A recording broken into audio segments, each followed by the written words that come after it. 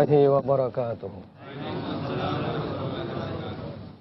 الحمد لله رب العالمين والعاقبة للمتقين والصلاة والسلام على رسوله الأمين أما بعد সম্মানিত দর্শকবৃন্দ piece TV বাংলার পক্ষ থেকে আপনাদেরকে জানাচ্ছি আন্তরিক প্রীতি এবং শুভেচ্ছা ও ভালোবাসা যে যেখানে বসে বসে দেখছেন আশা করি আপনারা নিজের নিজের জায়গায় ভালো আছেন খোলাফায় রাশেদিন নামক শৃঙ্খলায় খালিফাদের জীবনী নিয়ে আলোচনা করছি এবং আলোচনার চতুর্থ পর্যায়ে পড়েছি হাজরাতে আলী রাজিয়াল্লাহ তালানহর জীবনী নিয়ে। এই আলোচনায় আমি হজরতে আলী রাজিয়াল্লাহ তালানহর মক্কি জিন্দগির কিছু কথা আলোচনা করেছি এবং আল্লাহর রাসুল যতদিন পর্যন্ত বেঁচে ছিলেন, ততদিন পর্যন্ত হজরত আলীর যেগুলো গুরুত্বপূর্ণ কাজ ইসলামের নামে উনি আঞ্জাম দিয়েছিলেন, সেগুলোকে আমি করেছি। তার আল্লাহর রসুলের সাথে মদিনা চলে যাওয়ার পর এই যে দশ বছর জিন্দগি মদিনার নাবির সঙ্গে কাটিয়েছেন, তার সবগুলো কথাকে এত সংক্ষিপ্ত পরিসরে আলোচনা করা সম্ভব নয়। তাই বলে আমি যেগুলো গুরুত্বপূর্ণ সেগুলো আলোচনা করে দিয়েছি।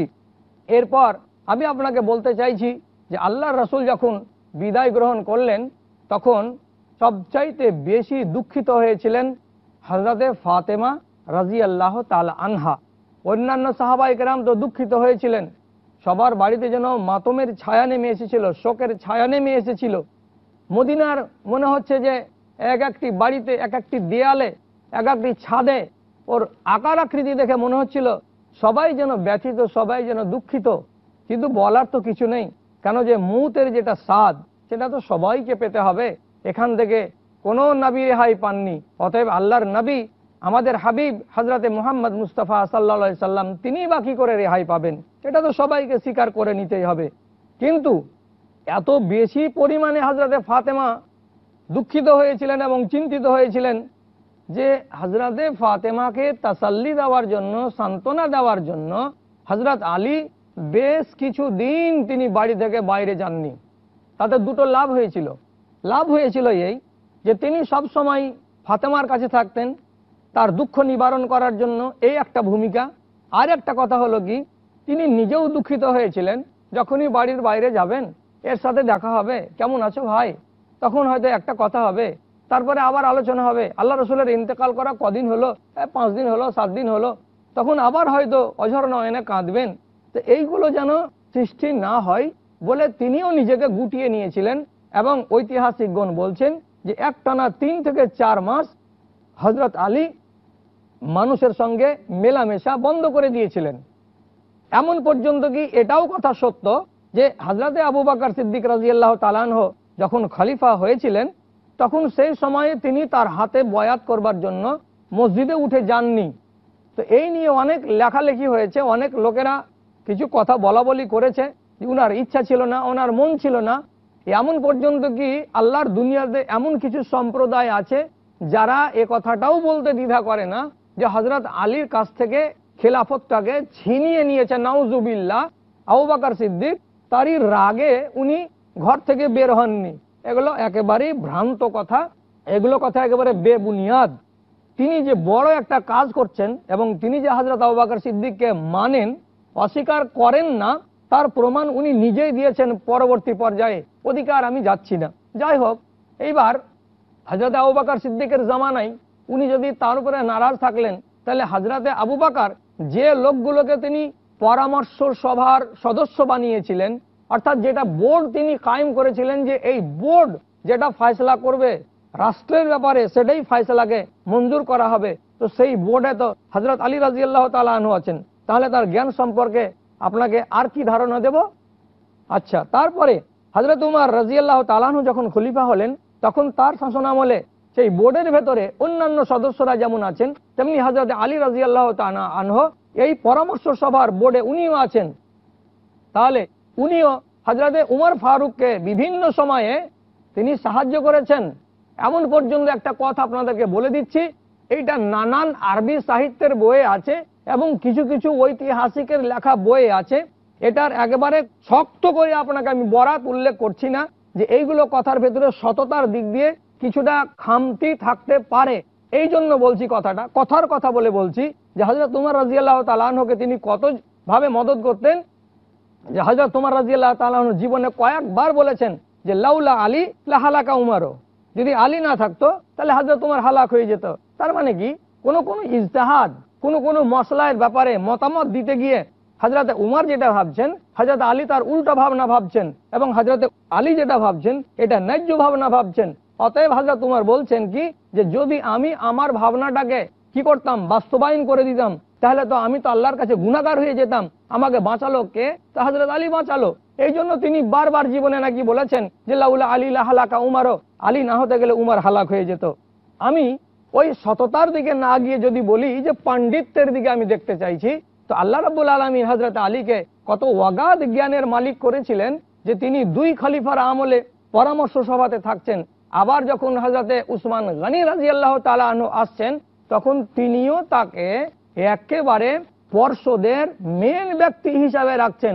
অর্থাৎ তিনি যদি পরামর্শ নেবেন, তো কার কাছে? এই কটা লোকের কাছে। হজরতে আলী, তালাহা এবং জুবাইর সাইদ বিন ওয়াক্কাস এবং আর নিবেন কার কাছে? আব্দুর রহমান বিন আউফের কাছ থেকে। তাহলে এই লোকগুলোর কাছ থেকে তিনি যখন পরামর্শ নিচ্ছেন, তখন বুঝতে হবে এই কথাটা যে উনি খেলাফতের মামলাতে কোনো সময় পিছিয়ে ছিলেন না।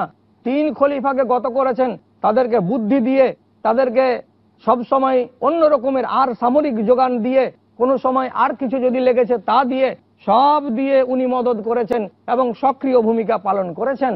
সব শেষে যখন হাজরত উসমান গনি রাজি আল্লাহ তালাহকে নির্মমভাবে হত্যা করে দেওয়া হলো, সেদিন মদিনার মাটিতে চারিদিকে শুধু হই হুল্লোড় ওয়াশান্তি যেন আগুন জ্বলছে, কোনো দিকে শান্তি দেখতে পাওয়া যাচ্ছে না। প্রত্যেকটা বুজরুগ সাহাবি নিজের নিজের বাড়িতে ঢুকে গিয়ে খিল এঁটে দিয়েছেন। যারা যারা নতুন, তরুণ তুর্কি, যারা সাহাবি নয় তারা মাঠে ময়দানে দাপিয়ে বেড়াচ্ছে এবং যা বলার তাই বলে বেড়াচ্ছে। এই রকম দুর্দিনে হজরত আলী রাজি আল্লাহ তালানহ যখন শুনতে পেলেন হজরত উসমান গানিকে শহীদ করে দেওয়া হয়েছে, তিনি শুধু বলেছিলেন আল্লাহকে সাক্ষী করে যে আল্লাহ, এই এত বড় আসমান ভাঙা কাজে হাজরাতে উসমানের মতো একজন পবিত্র মানুষকে শহীদ করাতে আমার দামান গান্দা হয়নি। আমি পবিত্র, আমি ওই না পাক কাজে নেই আল্লাহ রব্বুল আলমিন, তুমি সাক্ষী থাকো। হজরত আলী নিজেকে তো দূরে সরিয়ে রেখেছিলেন, কিন্তু পরিস্থিতিটা জটিল হয়েছিল বলেই কিছু কাজ দেয়নি সাহায্য সহযোগিতা। আমি পরে আলোচনা করব অবশ্যই ইনশাআল্লাহ। কিন্তু যখন এই উগ্রপন্থীরা হজরত উসমানকে শহীদ করে দিল দেওয়ার ফলে এরা হুঙ্কার ছাড়লো, মুসলমানেরা তোমরা তাড়াতাড়ি করে যোগ্য ব্যক্তিকে খলিফা বানাও এবং যোগ্য ব্যক্তিকে যদি খলিফা না বানাও, তাহলে তোমাদের দিকে দেখে আছি, সময় যদি অতিবাহিত হয়ে যায়, তাহলে আমরা আমাদের থেকে যাকে খলিফা বানাবার আছে আমরা বানিয়ে দিয়ে চলে যাব। শেষের বেলায় যারা যারা বুজরুগ সাহাবি ছিলেন, টুকটাক করে বাড়ি থেকে বেরিয়ে কোনো রকম করে এক অপরের সঙ্গে মিলেমিশে আলোচনা করতে লাগলেন।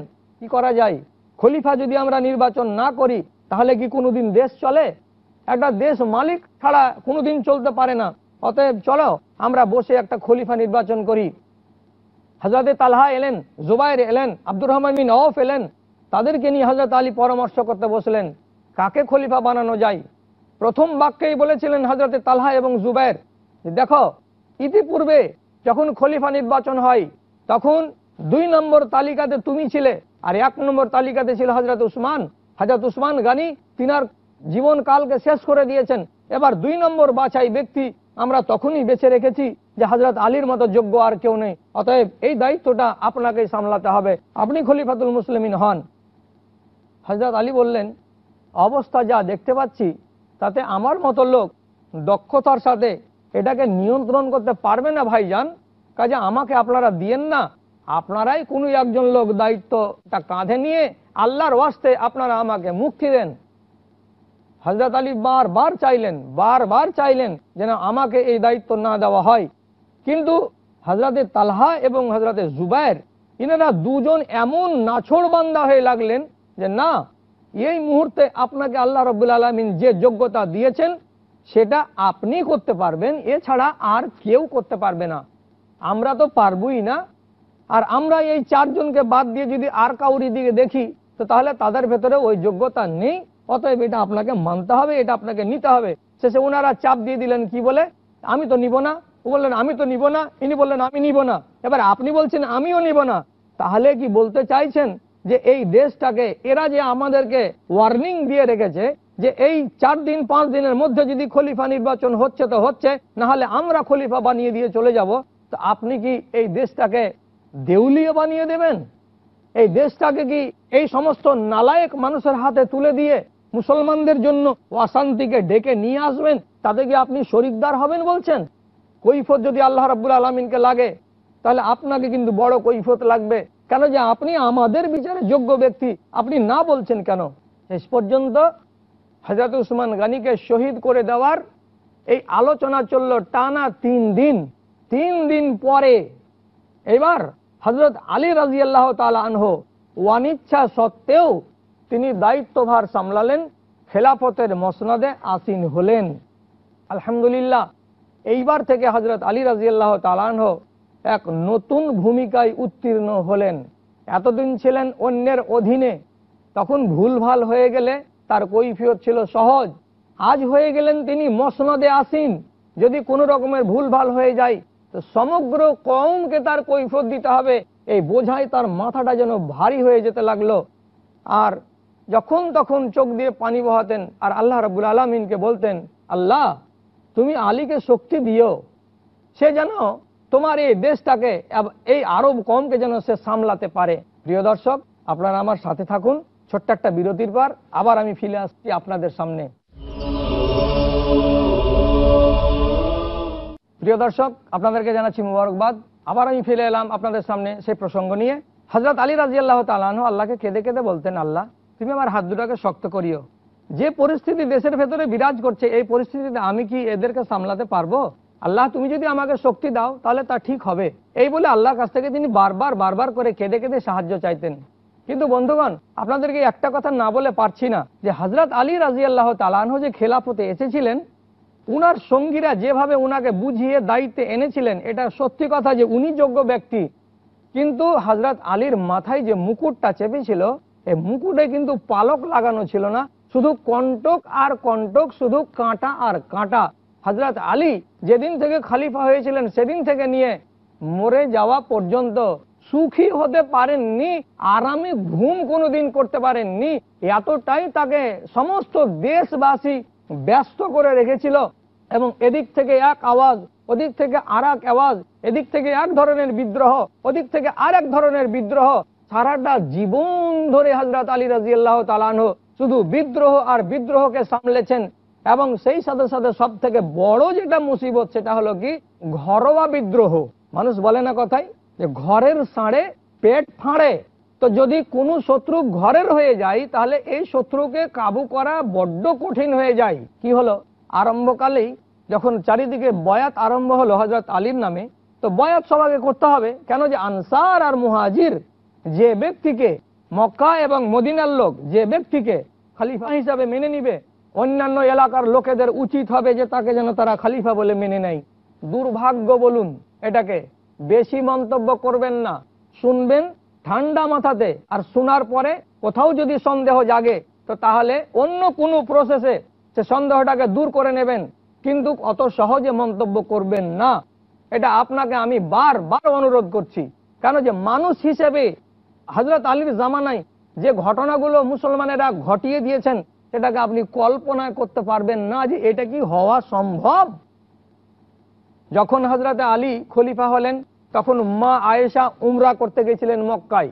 এবার হজরতে আলী যখন খালিফা হয়ে গেলেন, তো খালিফা হওয়ার পরে প্রথম আওয়াজ তিনি শুনতে পাচ্ছেন যে হাজরাতে উসমান গানী রাজিয়াল্লাহ তালাহকে যারা যারা শহীদ করেছে, তাদেরকে আগে কেসাস নিতে হবে, নেওয়ার পরে অন্য কাজ করতে হবে। একজন খলিফাকে এভাবে মার্ডার করে দেওয়া চারটিখানি কথা নয়।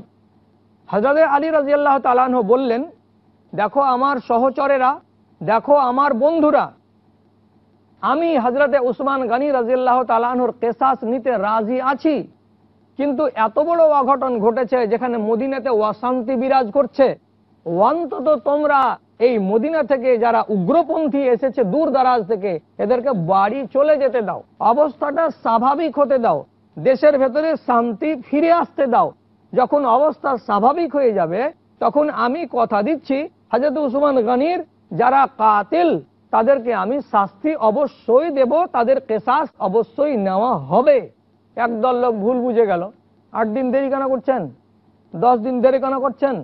আমরা তো জানি উমুক উমুক লোকটা মার্ডার করেছে। তা আপনি ওদেরকে কেসাসে মারতে পারছেন না? হজরত আলী বলছেন, আরে ভাই, কোন লোকটা মেরেছে? লোকেরা বলল, মোহাম্মদ বিন আবি বাকার মেরেছে। মেরেছে মোহাম্মদ বিন আবি বাকার? হ্যাঁ। হজরত উসমান গানির স্ত্রী নাইলার কাছে গিয়ে হজরত আলী রাজিয়াল্লাহ তালাহ বললেন, আপনি বলুন তো যে খালিফাতুল মুসলিমিনকে যে মেরেছিল, ওই চেহারাটা কে? ওই লোকটা কে? তার নাম আপনি বলতে পারবেন? বিবি নাইলা বললেন, যখন মুহাম্মদ বিন আবি বাকর এসে গেল এবং আমার স্বামীর শরীরের হাত লাগিয়ে দিল, এমন পর্যন্ত কোনো বর্ণনা এসেছে যে হাজাত উসমানের দাড়ি ধরে নিয়েছিল? হাজাত উসমান শুধু বলেছিলেন, মোহাম্মদ ইবনে আবি বাকার তোমার বাপ আবু বাকার সিদ্দিক আমার সম্মান করতেন, আমার ইজ্জত করতেন। আর তুমি আবু বাকারের ছেলে, আজ আমাকে এইভাবে অসম্মান করতে এসেছ? এ কথাটা যখন হজরত উসমান বললেন, সাথে সাথে মোহাম্মদ বিন আবি বাকর ছেড়ে দিয়ে পিছে হটে গেল। আর ওই হুড়ের সময়ে কে যে মারলো, আর কীভাবে যে মারলো, আর কেমন করে যে হজরত উসমান জমিনে পড়ে গেলেন, এতগুলো জিনিস আমি লক্ষ্য করতে পারি না। আর আমার মনেও পড়ে না, আমি তখন হতবম্ব হয়ে গেছিলাম। মোহাম্মদ ইবিন আবি বাকারকে বলা হলো, তুমি কি হাজরত উসমান গানিকে হত্যা করেছ? একবারে পরিষ্কার ভাষাতে তিনি বললেন, আমি আল্লাহর কসম খেয়ে বলছি, যখন আমি হাজরত উসমানকে কতল করতে গেছিলাম, উনি যখন আমাকে এই কথাটা বললেন যে, তোমার বাপ আমাকে নিজের ভাইয়ের মতো ভালোবাসতো তখন আমার ইমানি গায়রাত চমকে গেল যে সুবহান আল্লাহ আমার বাপ যাকে ভালোবাসতেন ভাইয়ের মতো করে আমি সঙ্গে সঙ্গে পিছু হটে গেছি।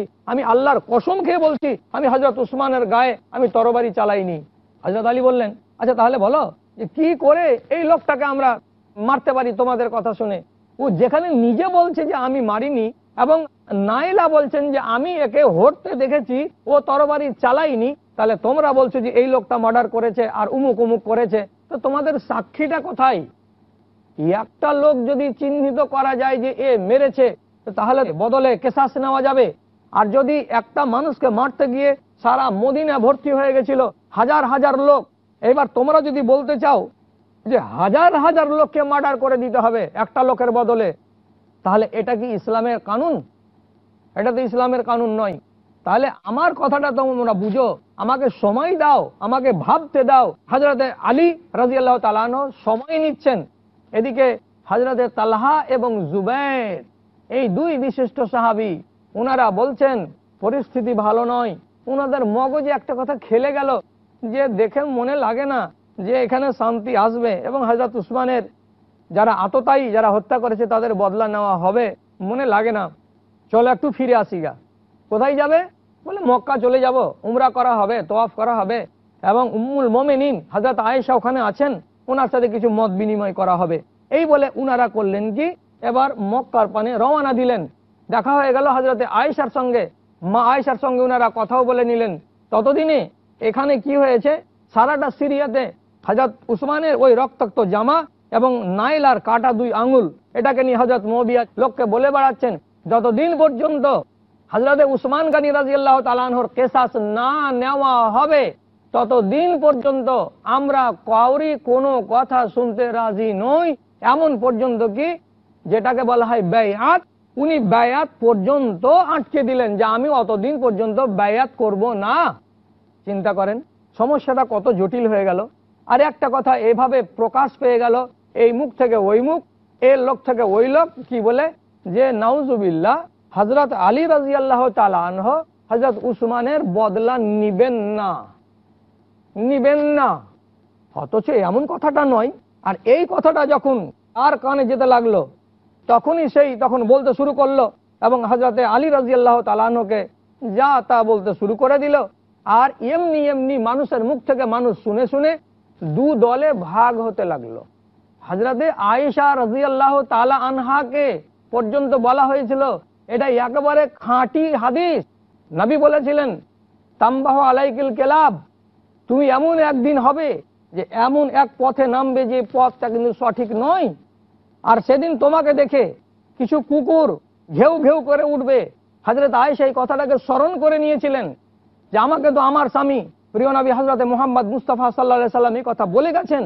তো তাহলে এইটাই কি সেই দিন যে আমি অন্যায় পথে পা বাড়িয়েছি, যে হজরত আলীর বিপক্ষে আমি হাঁটতে শুরু করেছি আর আমার কানে কথাটা এসে গেছে যে হজরত আলী লড়াই করবেন না? তিনি সাবধান হয়ে গেছিলেন। কিন্তু লোকেরা মা আয়েশাকে উল্টা পাল্টা বুঝিয়ে সুঝিয়ে বলছেন, চলেন না, বাসারাতে যাব, ওখানে মোয়াবিয়া আসছেন, আমরা যাচ্ছি, তারপরে আলীও আসবেন, সেখানে আমরা কিছু মত বিনিময় করে নিব। আর করে নেওয়ার পর শেষের বেলায় একটা বুঝা সুঝা হয়ে যাবে আমাদের ভেতরে। এইভাবে সাদামাটা কথা বলে যে মা আয়েশা ফিরে আসছিলেন তাকে আবার ফিরিয়ে নিয়ে গেলেন। ওইখানে শেষে গিয়ে দেখা গেল, কিছু সুবিধাবাদী লোক আছে। কি সুবিধাবাদী লোক? একগুলো লোক চাইছে, দু দলের ভেতরে যদি আমরা একটুখানি আগুন লাগিয়ে দিতে পারি, তো তাহলে আমাদের মুনাফা হবে, লাভ হবে। এগুলো তো হলো ইহুদিদের চক্রান্ত। এবং সত্যিকারই যে লোকগুলো হাজরতে উসমানকে মার্ডার করেছিল, তারা তারা চাইছিল যে এইখানে যদি নিষ্পত্তি হয়ে যায় তাহলে আসামি ধরা পড়ে যাবে, আর আসামি ধরা পড়তে গেলে আমাদেরকে কেসাসে মার্ডার করে দিবে। অতএব বিভ্রান্তি খাড়ো করো, যাতে এক সমস্যার পর আর সমস্যা আর সমস্যার পর আর সমস্যা জড়িয়ে যায়, আর এরা যেন আসামিকে চিহ্নিত করতে না পারে, আর মুসলমানদের ভেতরে আপস দ্বন্দ্ব শুরু হয়ে যায়। আল্লাহ আল্লাহ আল্লাহ। আল্লাহ, তুমি হেফাজত করিও। শেষের বেলায় কি হলো? রাত্রিবেলায় এই পক্ষের লোকেরা এক ময়দানে, এই পক্ষের লোকেরা এক ময়দানে। যারা সুবিধাবাদী তারা ইচ্ছাকৃতভাবে করল কি?